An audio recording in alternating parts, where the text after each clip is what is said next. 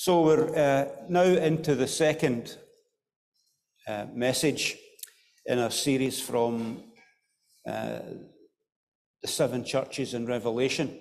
Last week we began, but it wasn't, we didn't look at the church, any of the churches. We looked at the, the, the teaching in the first chapter of Revelation that here as we gather, the risen Christ standing in the midst of the church. And we need to be aware of that today uh, we need to be aware of it always that when we gather together, we are gathering in the presence of the risen Saviour. And he stands in all of his authority and all of his power in the midst of this place. Um, and so we also thought last week of the voice of Christ, this great thundering voice that does indeed break, or will indeed break open the graves when he returns. But this, this voice that thunders like many waters, as he stands in the midst of us, um, we're told that he will sing praises in the midst of the congregation. Now we know that even if that is a projection to the future in the great congregation, we are a representation of that great congregation. And our Saviour is here, and his voice must be heard. And we're thrilled at that, aren't we? We marvel at that here in this church, that Almighty God is not only here, but He's here to speak. And He's here that we may hear His holy voice. Today we're going to begin by uh, looking at the first letter. Um, we're going to begin a series uh, proper, if I can say that by looking at the letter to the church in Ephesus. Uh, this church, it's possible for us to describe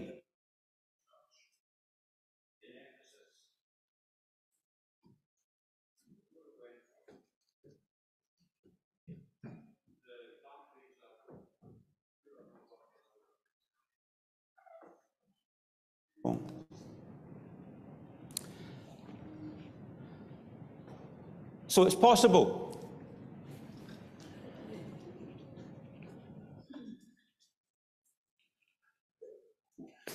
I'll do my best as Kenny replenishes my power. Aren't you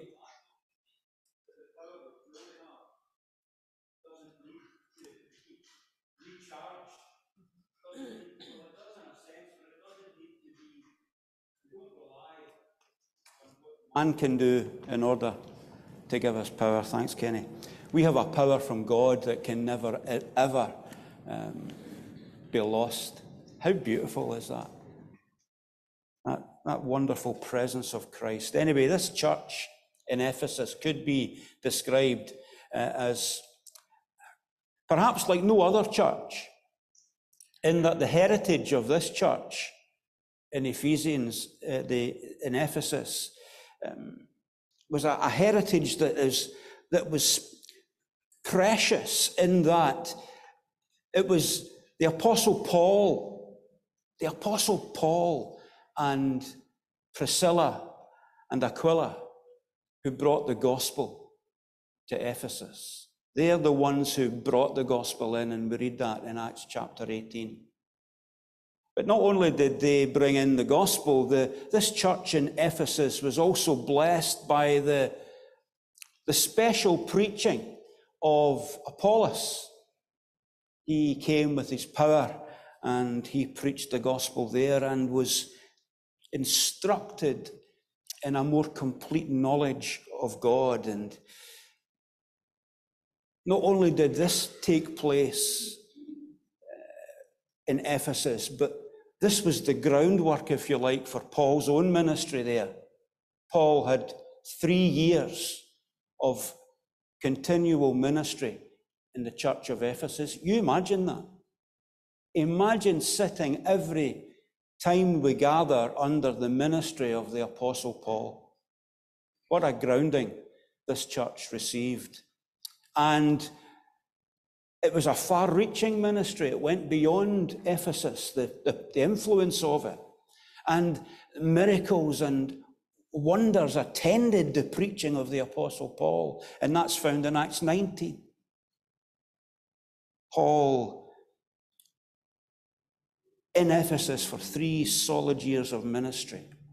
Well, by the time this letter was dictated by the risen Christ, something like 40 years had elapsed since Paul. Paul was gone.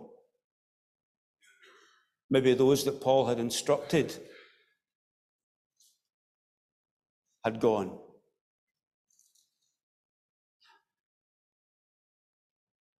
The situation in Ephesus wasn't the same anymore. It wasn't the, it wasn't the way it used to be. And they had got to the stage where the head of the church, the Lord Jesus Christ, found it necessary to dictate another letter. Wow. I mean, that's awesome. Here is Christ now ready to speak to this church directly. But you see, there was an issue that he wanted to address. It wasn't a general letter that he was writing or he was dictating to John. This was something Christ had noticed, something that he was aware of, something that he knew. And before he says what it is, it's really important to see that he underlines his absolute authority to tell them.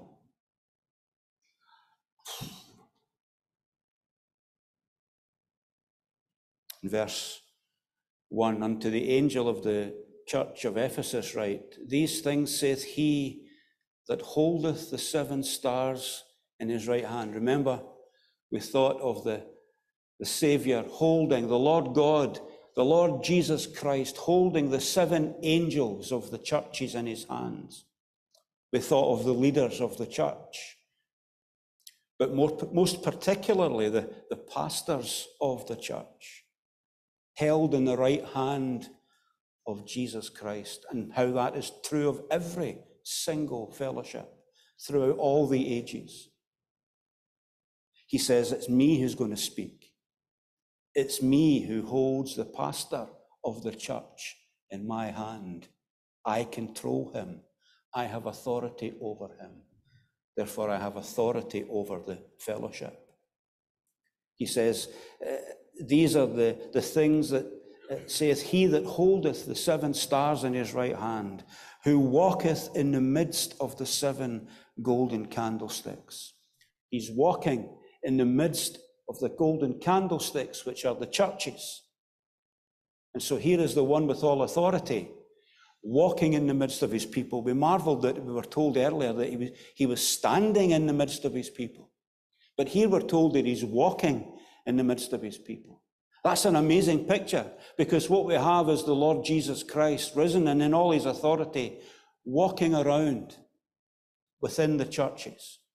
In other words, do you remember when Jesus went into the temple and he looked around? And then the following day he came back and he dealt with the issues that he had witnessed or that he had seen.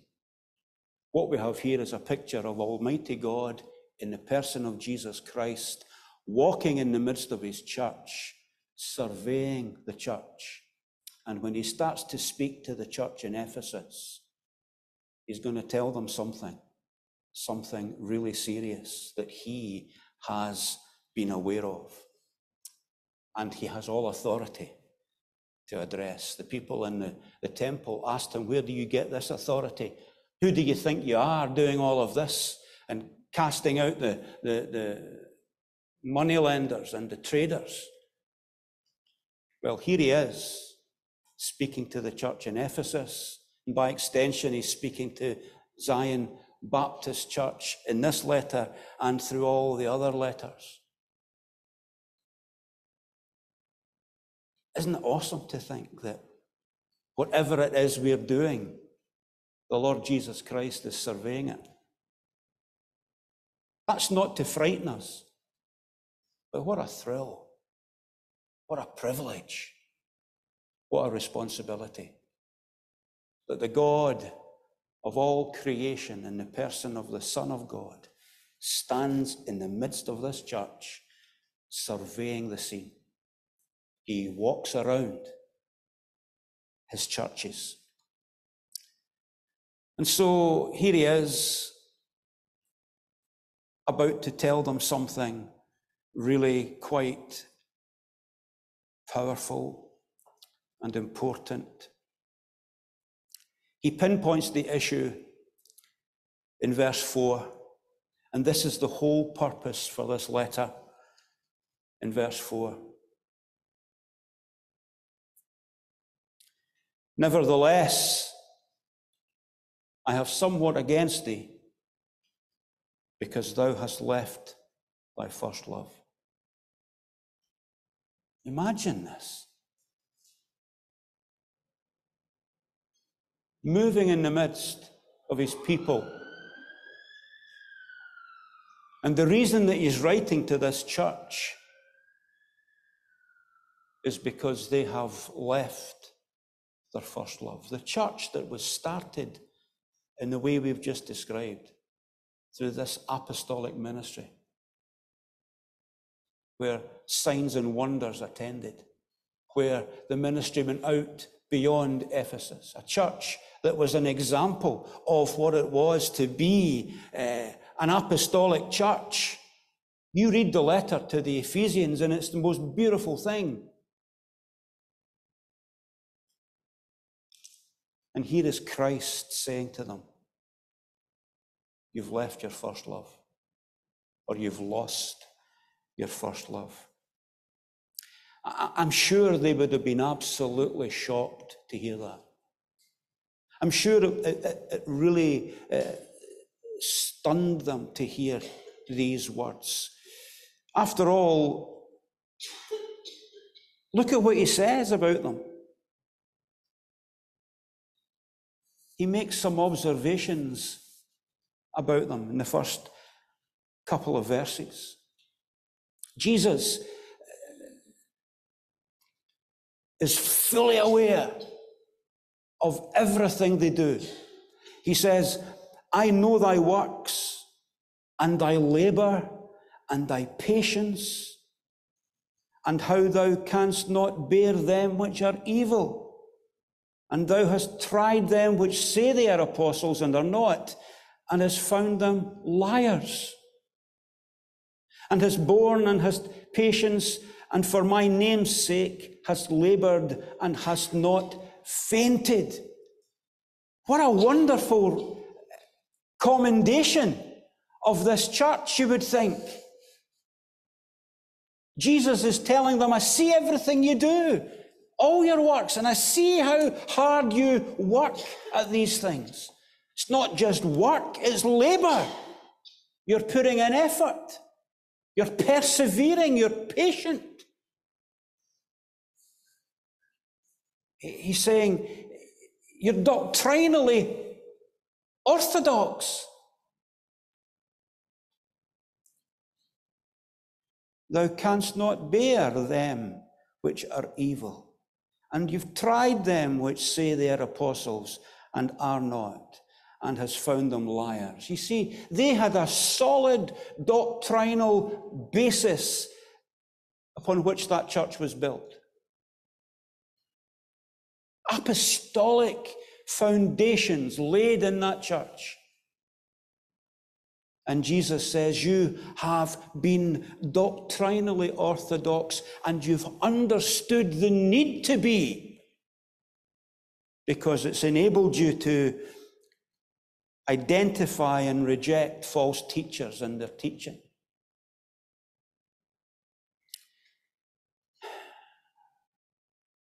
You've kept it going for my name's sake.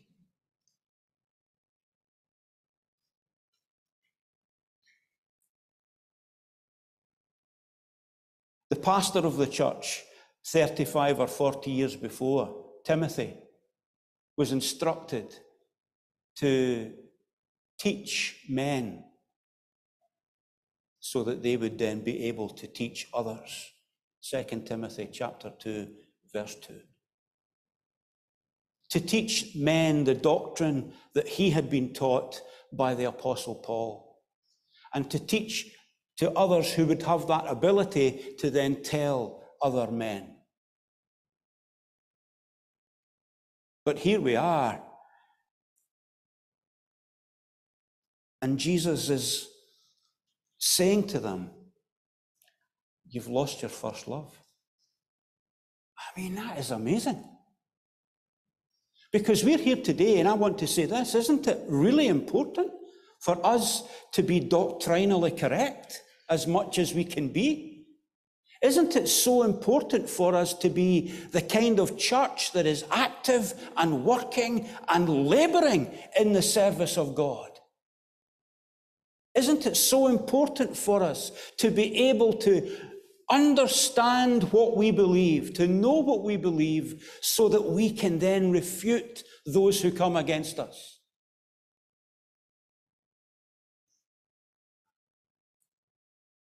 So important that we are eager to get involved in the Lord's work, properly motivated, as we'll come on to in a minute.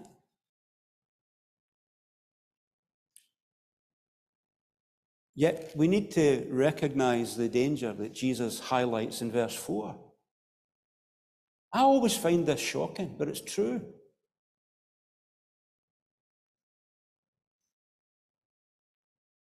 You've lost your first love. You've, you've, you've moved away.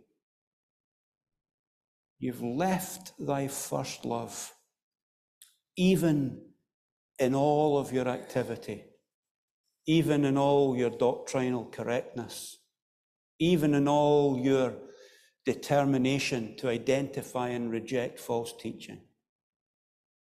You've left me, says Jesus. Because you see, all of that is wonderful. All of that is correct and right and appropriate. And it should be a desire and a determination in us to be these things and to do these things. But we can be these things and we can do these things. And at the same time, we have left the Lord Jesus Christ.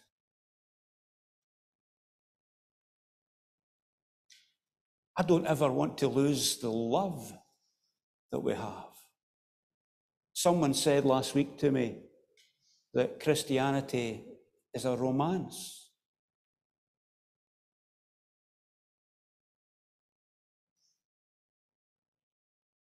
A million kisses to you, Jesus.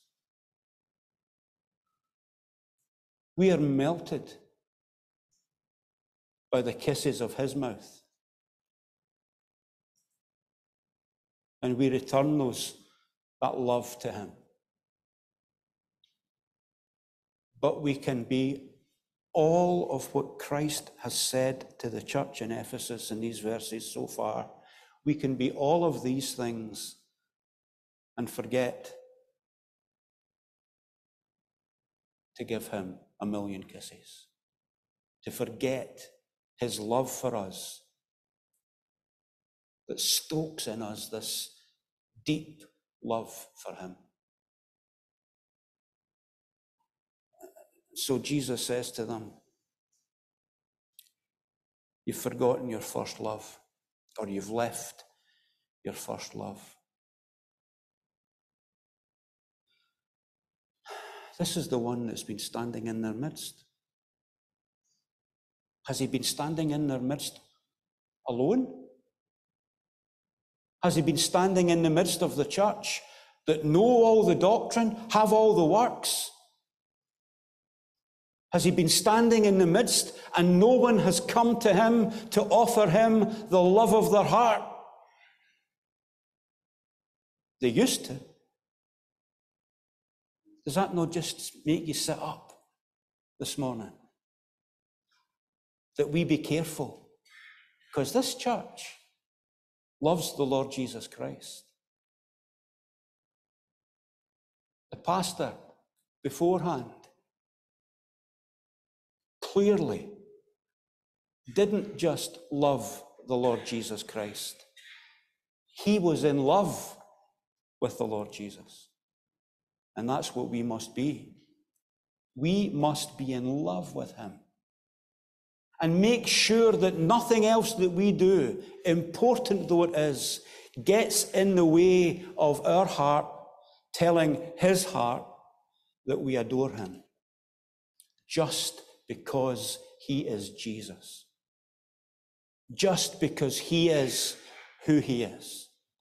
Do you feel that this morning? Do you, are you sitting here this morning and your heart has, uh, you don't feel this? Do you not feel this love for Jesus? Then we need to hear. If that is the case, we need to hear him.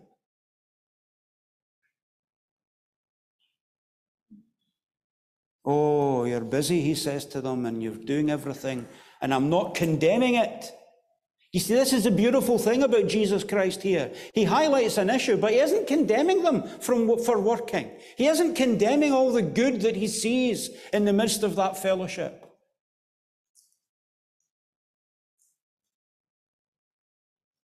He approves of their work ethic and he approves of their doctrinal orthodoxy and he approves and he doesn't condemn. But this observation is massive. Imagine being the, imagine being the Ephesians for just a moment and hearing this from Christ.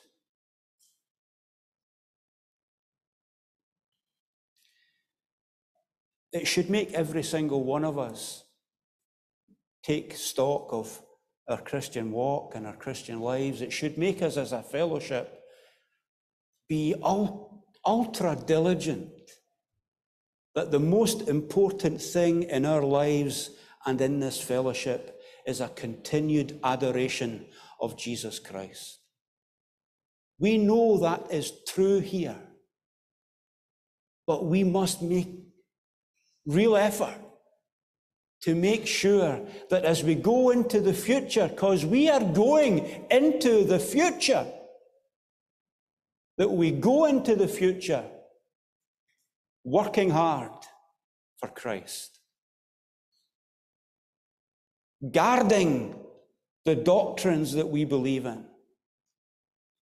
holding strong to these things so that we can be protected from wrong influences.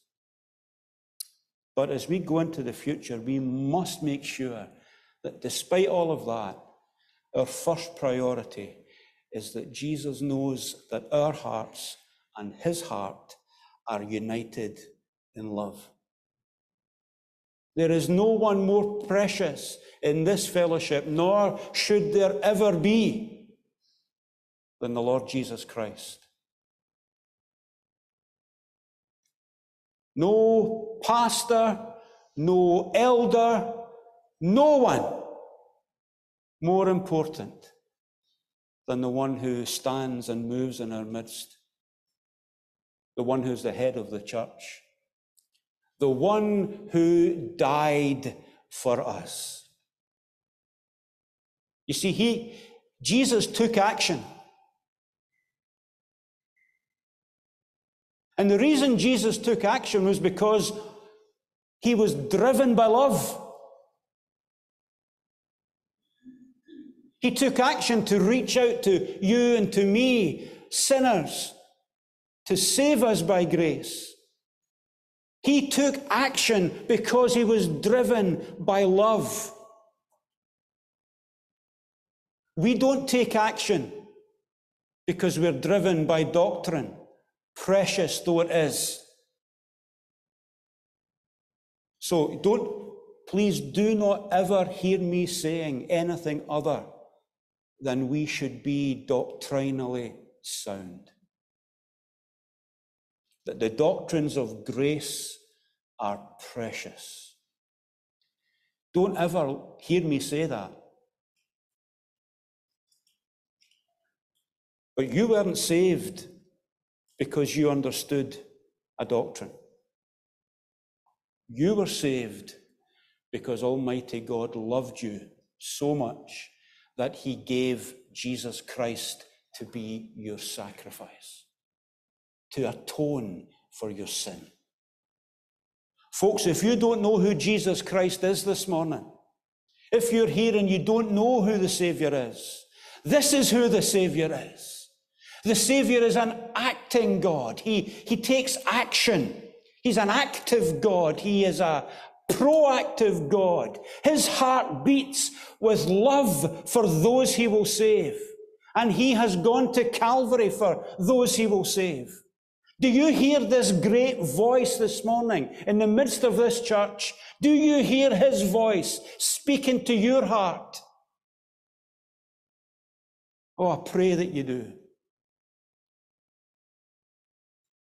Because he's taken action. Jesus took action on the cross because of his love for us. And, and, and, and while he commends them for their action, there was something missing from their works and their labor, and it was a love of Jesus. It was love. It was, it was works that had been done from a position of, of, a, of a, a love that had waned. You see, we can keep going.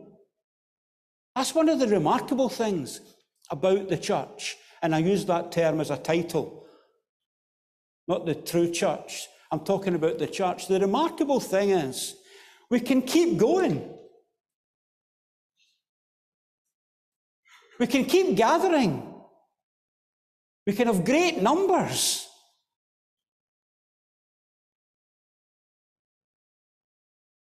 And yet we could still hear Jesus saying, while we celebrate these things, we could still hear Jesus saying, You've left your first love. I see all of that. I accept all of the effort you've put in. I'm not denying it. I'm saying it hasn't come from here. I don't know about you, but that really f- makes me sit up. Because who is it we're doing it for?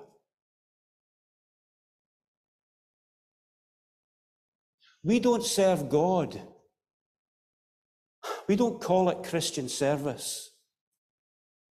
Like this Ephesian church, Jesus says that they've labored and has not fainted. But before that, he had said, For my name's sake.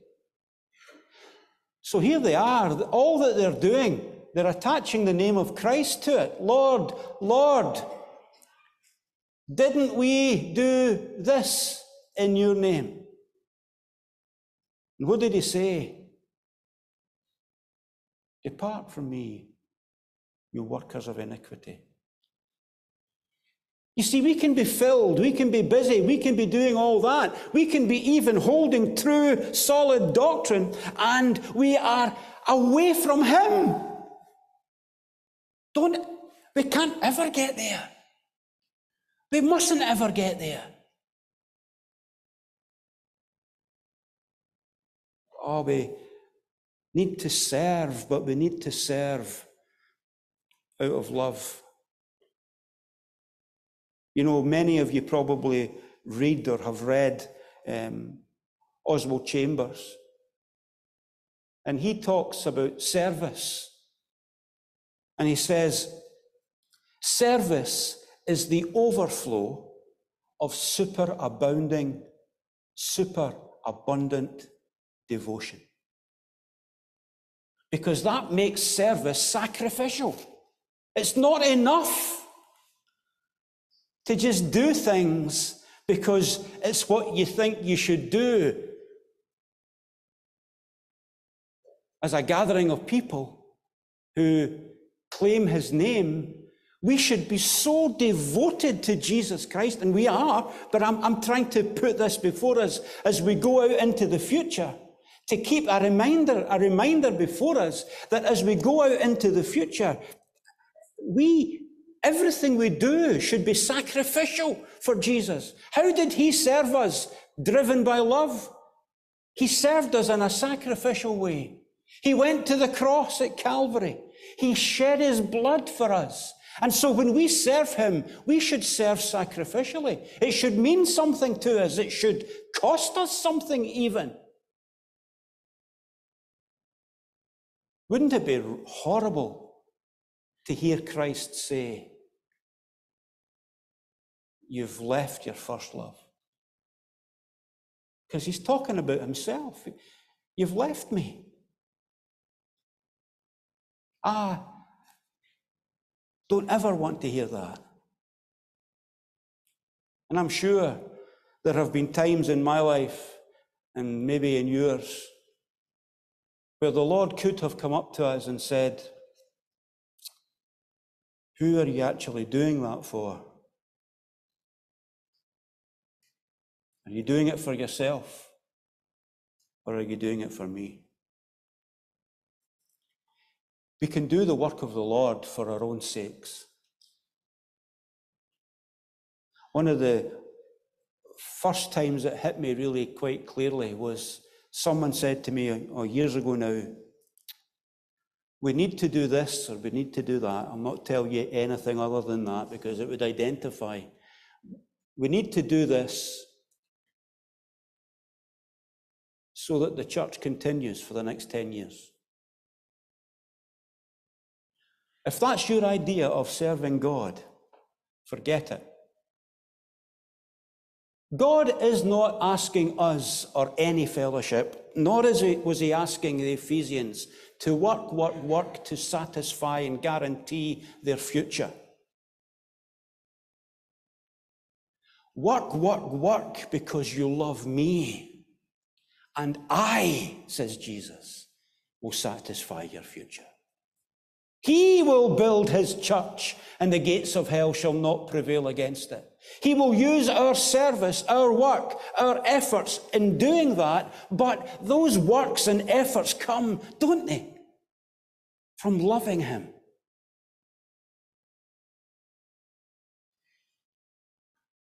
I just feel this message, God wants us to hear this message today because we're not going back that way. We're going forward under His authority. And He wants to make clear that as we go forward, we go forward loving Him. And everything we do is because we love Jesus. So I'm going to ask a question, and you don't need to answer, but I'm just going to ask you this question right now. Do you love Jesus? Yes, we should say. Are you in love with Christ? Is he what you think about? Is he the one you want to please? Is he the one you want to fall down before and give everything to?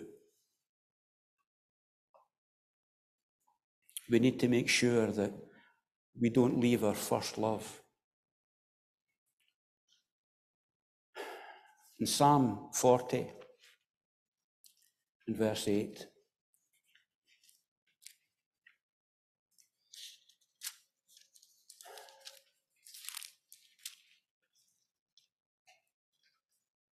I delight to do thy will, O my God. Yea, thy law is within my heart. I delight to do thy will, O my God. What makes a, a Christian delight to do the will of God?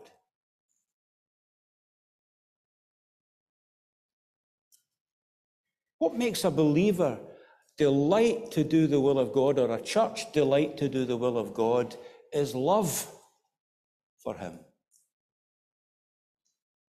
Service can become a burden and bothersome when we're doing it out of duty.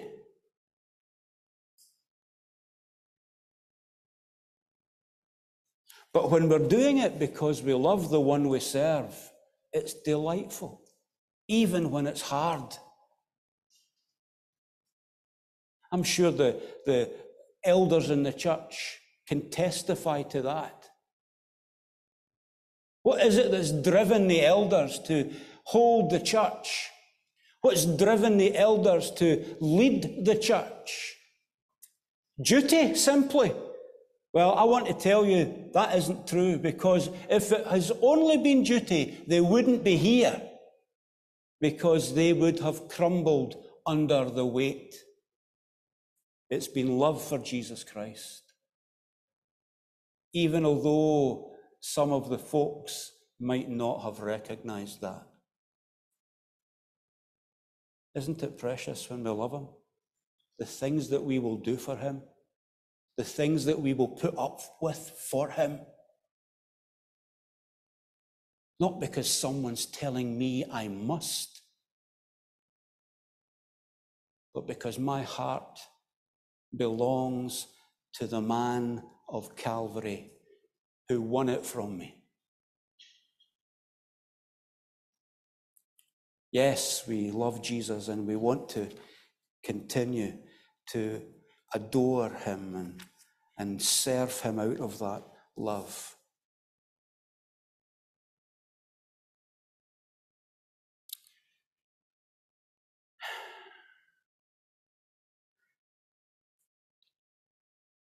But he doesn't leave it there.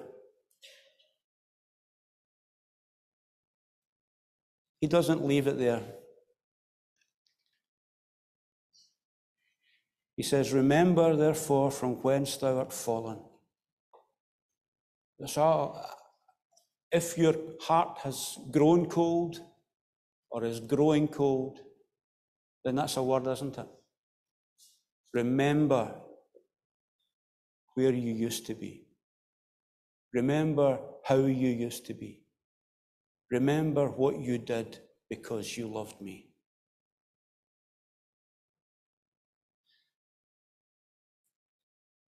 He says, Do the first works. What were the first works? What are the first things we did when we, when we came to know Jesus? I remember getting up in the morning before four o'clock in the morning with my Bible open. I'd just been saved. Reading my scriptures, reading the scriptures, praying to God. And couldn't wait till the next day to get up and do the same. And those are the works in the Word, in prayer, around the Lord's table.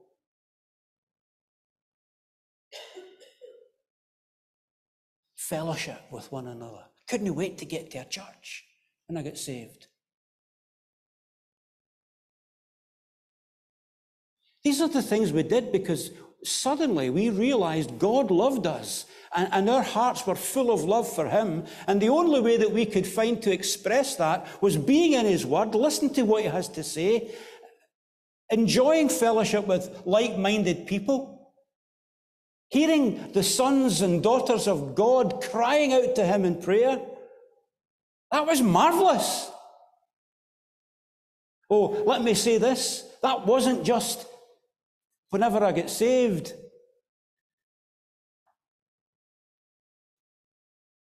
I cannot wait to get to this place for the meetings that we hold. I cannot wait. I love the fellowship with one another. Love it. I love to hear my brothers and sisters when we gather on a Wednesday and on a Friday speaking to the one that they adore. And you can hear that adoration. It thrills me like a, I'm a newborn babe. But you see, there's a great danger.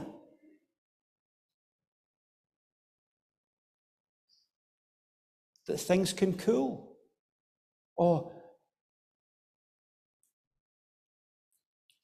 don't you know do that?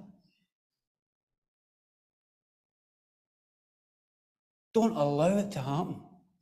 You're going to promise that with me, that we will not allow that to happen.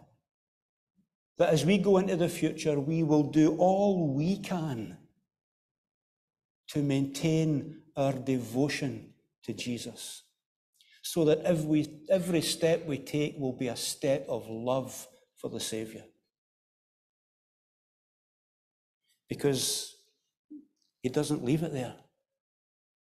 He said, or else. We don't want to hear Jesus saying that. We really don't want the Lord God Almighty to say, or else. That is really quite a sobering couple of words to come from the divine mouth.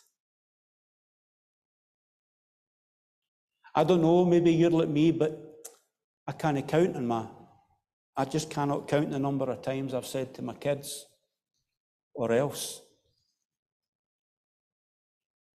But when Almighty God says it, completely different, isn't it? He says, You do what I'm telling you to do in order to restoke that flame of love and devotion. He says, Or else I will come unto thee quickly and will remove thy candlestick. In other words, they would no longer be a bona fide church. That's the threat or the warning from Christ. So, what we need to do then to step beyond that is to commit ourselves to a life of devotion to Jesus and let everything else we do as a fellowship just flow out of that love so that our service carries with it the fragrance of the love we have for Jesus Christ.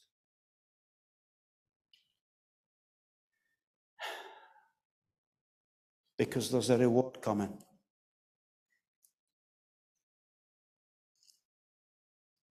He that hath an ear, let, the, let them hear what the Spirit saith unto the churches. To him that overcometh will I give to eat of the tree of life, which is in the paradise of God. To eat of the tree of life is going to be our great privilege as overcomers.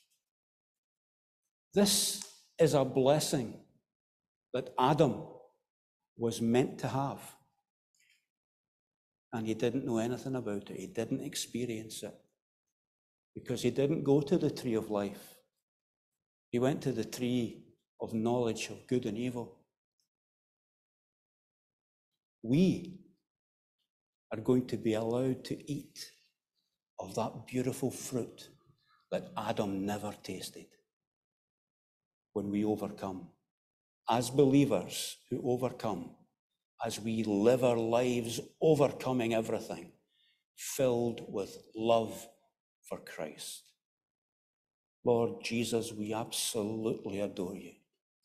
Lord, we recommit ourselves to a life of devotion, given over to who you are. May our love for you, Lord Jesus, add a special flavour to our service for you. For we ask it in your holy name. Amen.